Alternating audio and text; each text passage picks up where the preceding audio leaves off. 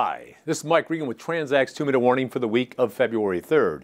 In this week's two minute warning, we're taking a look at the impact of uncertainty on your supply chain and transportation costs.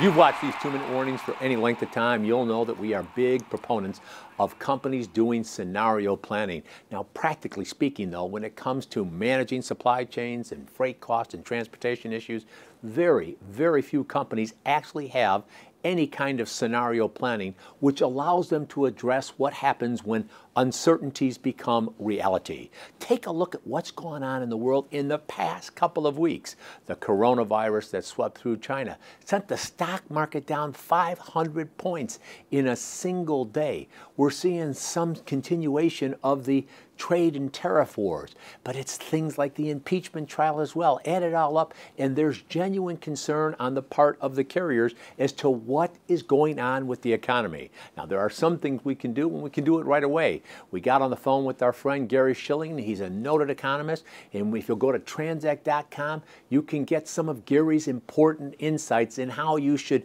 navigate through some uncharted waters. But there are other things as well. Many of you have given us a call or sent us an email asking is now the right time to source my freight? We're seeing a weakness with the carrier. Should we be out bidding our freight? And the answer to that question is it depends.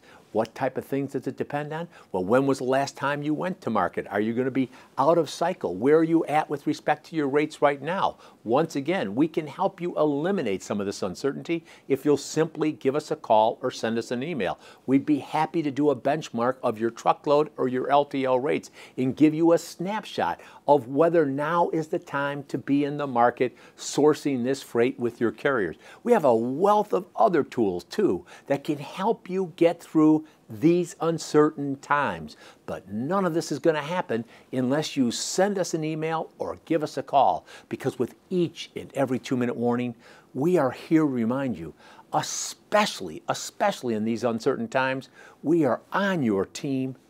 We're here to help, and we are really passionate about seeing you be successful. Thanks for your time.